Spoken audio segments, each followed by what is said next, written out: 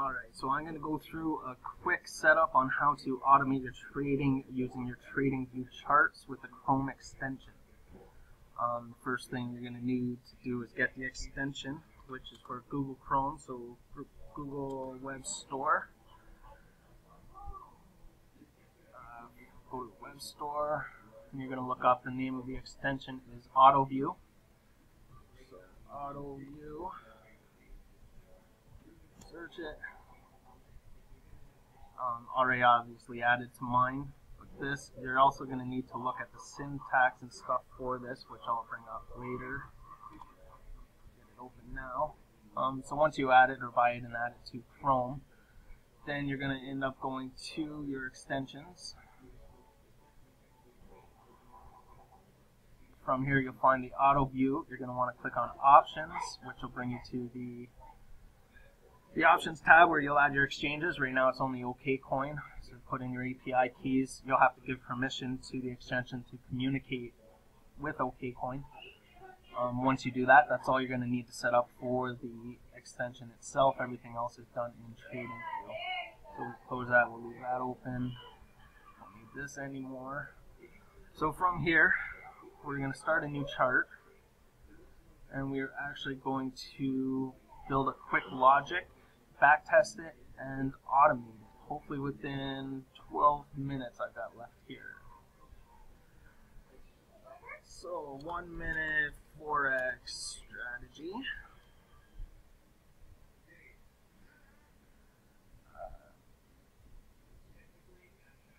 So I'm going to pick this one. This was the first one. Only three lines crossing. So you've got your rules, buy position, where to put your stop loss, and to exit the trade for 10, 9 to 15 pips. Okay, so we take that strategy, we go to our new chart. Actually, before we code this, we might as well get it up on the chart. So we need a moving average. Moving average, we need one of these, and exponential times two. Okay, so the MA was the 55.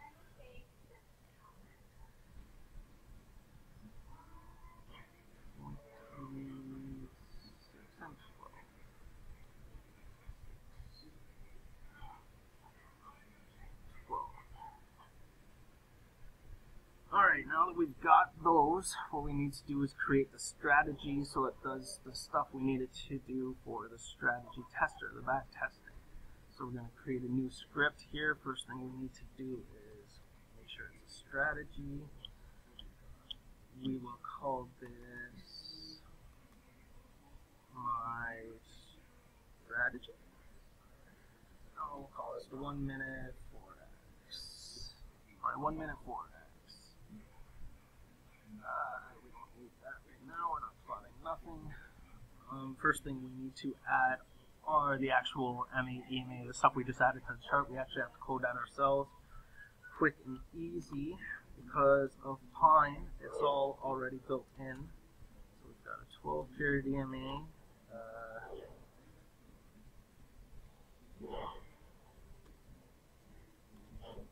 26 EMA.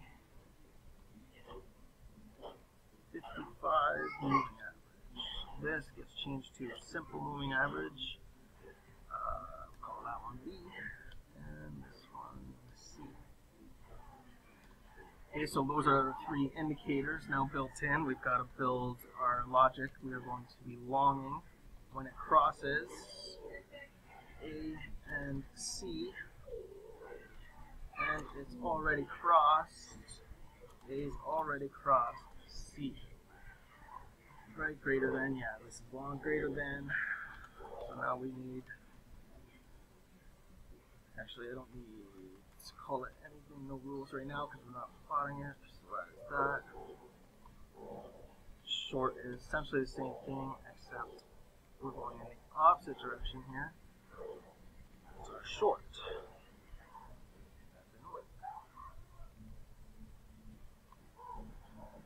Alright, we've got our short.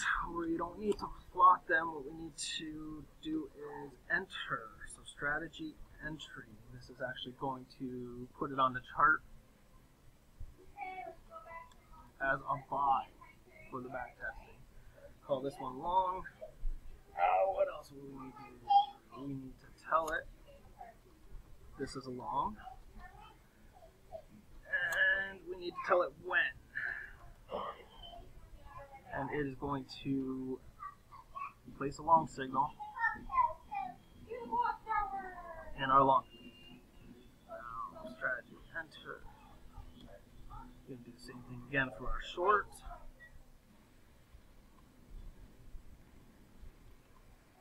Now, that being said, we've got our long entry, which is on cross of EMA 12 and crossing the 55, and it's already crossed So let's save this. Alright, um, add it to the chart. You've got your performance summary, net profit, etc. Overall, here's how it did. Um, this so far, given the logic, is simply close the long when you see a short, close the short when you see a long. If you want to add take profit, stop loss, trailing stop, that can all be done in quick little lines of code. I'll, I'll just throw them up as well when I put this strategy or publish the strategy. It'll have take profit, stop loss. And then when you do, what you can sit up here, you'll have the inputs I add, and you'll be able to go through them and just click up and down on the numbers, and you'll see how the trade and how it acts differently, plotting all the different, each one minute at a time. Um, this back testing that TradingView's done is is amazing, and it's only in beta. I cannot elaborate how awesome this thing is. Um, so yeah, there's your strategy. The next step now, if we actually want to automate this strategy, as is we would Probably not, given the percentile of wins. We definitely want to clean this up a little bit, give our own thing, but then again, we are taking a strategy directly off of. Oh no, they do recommend 15, so we will add our uh, take profit and stuff. But for now, we are just going to copy this code and create a new blank script this on here. This time it is a study as we're creating the custom indicators for our alerts. We don't need a strategy here, we need a plot. Uh, so going to plot on long, we are going to actually plot long, which is this right here. We're going to plot that, call it long. Pretty simple here, we just need to tell it what color we want it. So I want long on green and align with uh, one.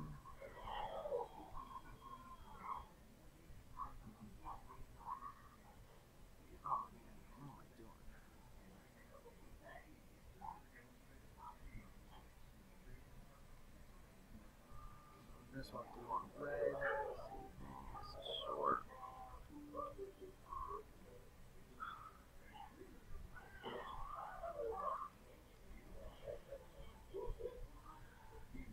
this one is short.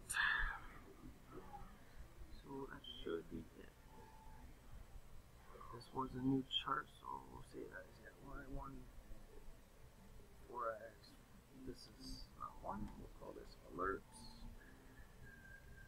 Okay, this one before I plotted on the chart, I don't actually want it on the chart. So we get to say overlay false and it'll actually put it on the bottom. Add to chart. So see here we are now we've got this is where our long is going to be and this is where our shorts will be. So the small fake out, short, long, short. So now you can simply make some alerts. Create a new alert here and we are going to be going off of my 1 min forex so my 1 min forex when long is greater than uh, 0.99. We're going to want this to happen on the close of the candle. Pop up play sound. I'm just going to create that right now. So you see that alarm will go off whenever the green triggers it. And that's when we want to place a long. So now what we do is Remember the syntax I cut and paste from the App Store there, or if you go visit the app. Um, I'll provide this link as well. Here's the syntax that you need to put into the alerts. So I'm just going to open that up, open Notepad here, and do a quick long. So we want to open a long. We want to open a long, the book. Um, we are going to want to cancel some other lines. So our long is going to be leverage 20. Believe you're going to want to get rid of the spaces. So we need long 20 price. What this does is it uses, the extension uses the top price of the book you're placing it in. So if I wanted to undercut the top of the book by 10 cents, I would type minus 10. Oh, see, I just got an alert there for my trade. So you'll see here is actually, of course I can't paste that, the syntax of placing. So what it did here, it was a sell. It closed my opens, and then it reshorted a limit right at the top price, 21. Then it did a position close of a long, which was a limit order, 20. So this single single alert right now, what it did was it closed my long position if I was in one, placed a short, and canceled any open orders that I had. So we'll shoot over to OKCoin's. Oh, I didn't have any longs. If I did, it would have closed them. Nope, we've just been doing shorts. So let's open another short added to this one. There we go, 10. We filled. Oh, got another one. Right on. So that's the current strategy. That's how it works. Um, actually, it's really nice that we just got that alert. I'm not sure I need to even go as far as actually writing one, but we can do a quick.